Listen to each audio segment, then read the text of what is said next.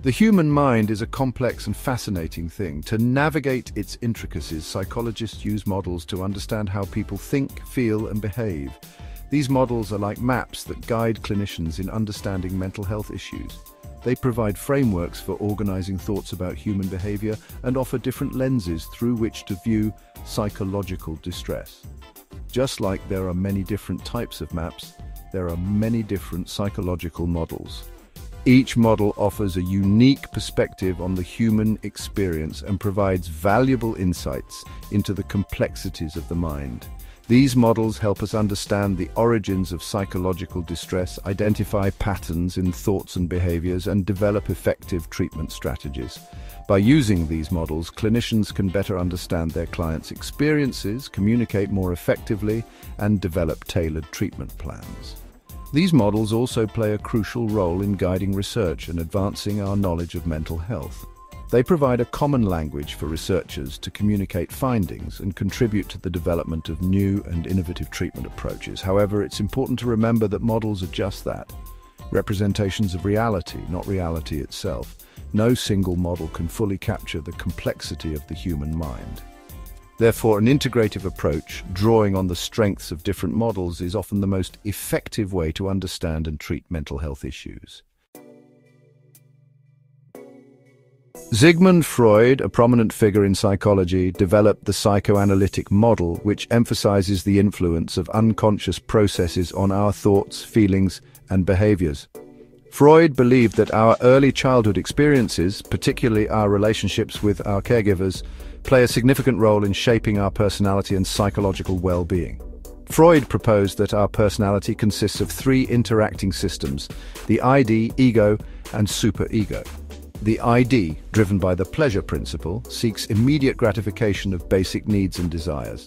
The superego, representing our moral conscience, strives for perfection and adherence to societal rules.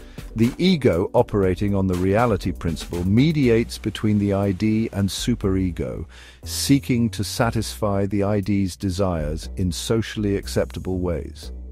According to Freud, our unconscious mind is also home to defense mechanisms, which are psychological strategies we unconsciously employ to protect ourselves from anxiety and emotional pain. These defense mechanisms, such as repression, denial and projection, can be both adaptive and maladaptive.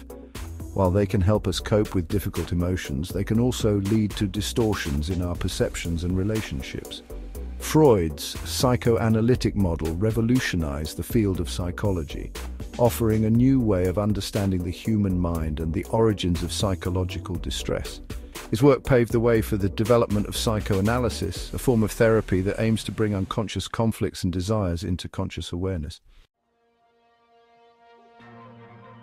While Freud's ideas were groundbreaking, they were also met with criticism and debate.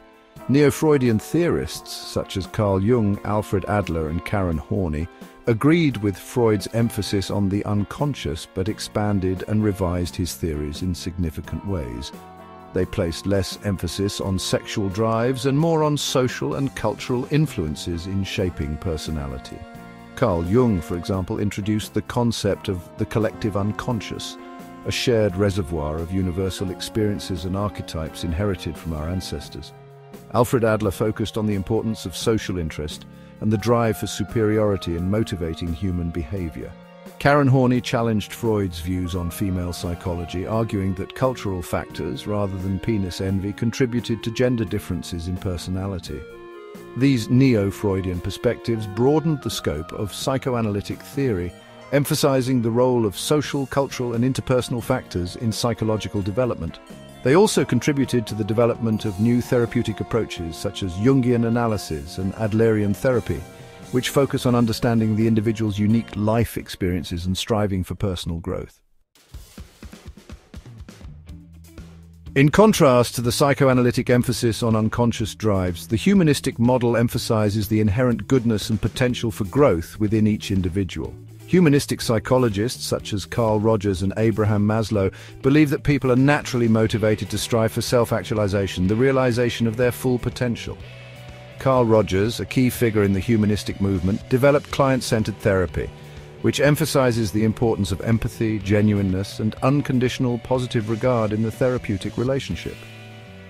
Rogers believed that these core conditions create a safe and supportive environment for clients to explore their feelings, gain self-awareness, and make positive changes in their lives. Abraham Maslow, known for his hierarchy of needs, proposed that people are motivated by a hierarchy of needs ranging from basic physiological needs to higher order needs for love, belonging, esteem and self-actualization. Maslow believed that fulfilling these needs is essential for psychological well-being and that people are most fulfilled when they are able to live authentically and pursue their passions. The humanistic model has had a profound impact on psychotherapy, emphasizing the importance of the therapeutic relationship the client's subjective experience, and the potential for personal growth and transformation. Behavior as a learned response, the behavioral model. The behavioral model focuses on observable behaviors and the environmental factors that influence them.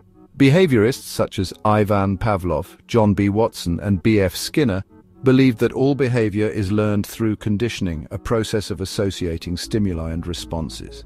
Classical conditioning, discovered by Ivan Pavlov, involves learning through association. In his famous experiment with dogs, Pavlov paired the ringing of a bell with the presentation of food, causing the dogs to salivate at the sound of the bell alone. This demonstrated that a neutral stimulus, the bell, could elicit a conditioned response, salivation, when paired with an unconditioned stimulus, food. Operant conditioning, developed by B.F. Skinner, focuses on the role of consequences in shaping behavior. Skinner proposed that behaviors followed by reinforcement, whether positive or negative, are more likely to be repeated, while behaviors followed by punishment are less likely to occur again. The behavioral model has led to the development of effective treatments for a wide range of mental health issues, including phobias, anxiety disorders, and substance abuse. Behavioral therapies such as exposure therapy and cognitive behavioral therapy, or CBT, focus on modifying maladaptive behaviors and thought patterns. The power of thought, the cognitive model. The cognitive model emphasizes the role of thoughts, beliefs and perceptions in influencing our emotions and behaviors. Cognitive psychologists such as Aaron Beck and Albert Ellis believe that our interpretations of events, rather than the events themselves, shape our emotional responses. According to the cognitive model, our thoughts can become distorted, leading to negative emotions and maladaptive behaviors.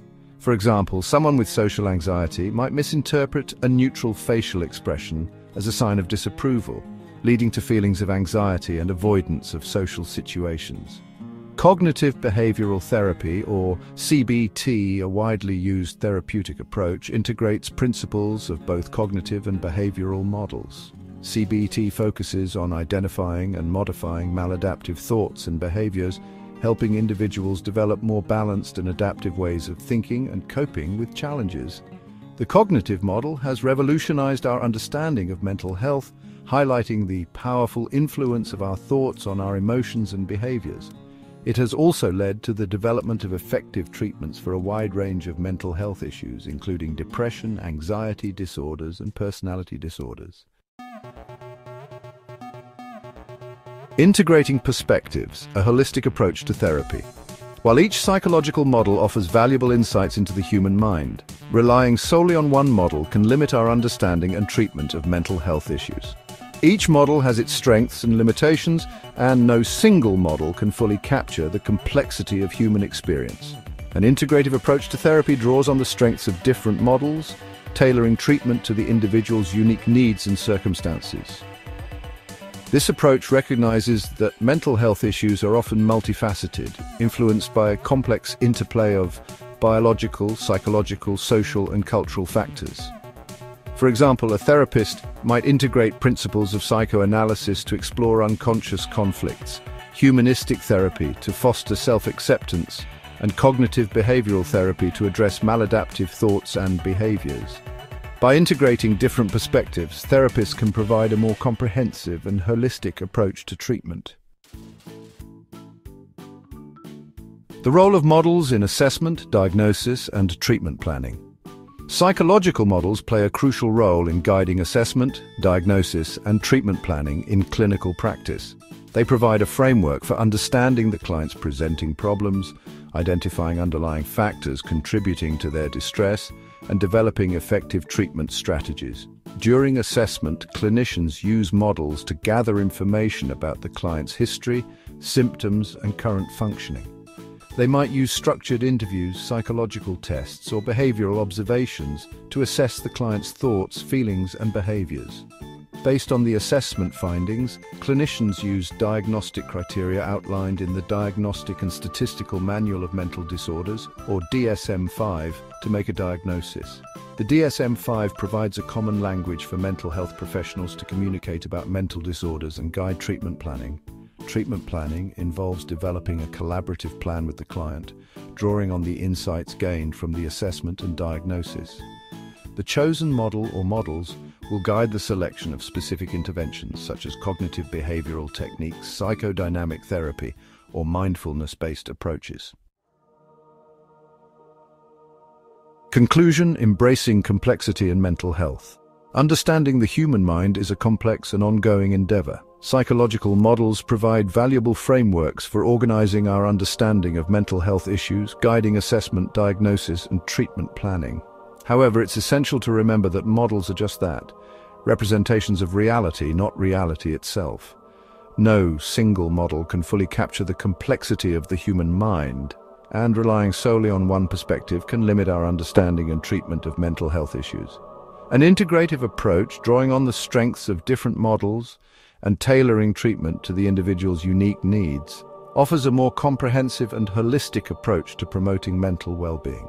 As we continue to explore the intricacies of the human mind, it's crucial to embrace complexity, challenge our assumptions, and remain open to new perspectives. By integrating knowledge from different models, we can continue to advance our understanding of mental health and develop more effective treatments for those in need. If you found this video insightful and want to keep exploring the fascinating world of psychology, don't forget to hit that subscribe button. To ensure you never miss out on our latest deep dives into the mind, tap the bell icon to get notified instantly. Let's continue unraveling the mysteries of the brain and mental well-being. And hey, if you enjoyed this, give it a thumbs up and share it with someone who might benefit from it. Thanks for watching and see you in the next one.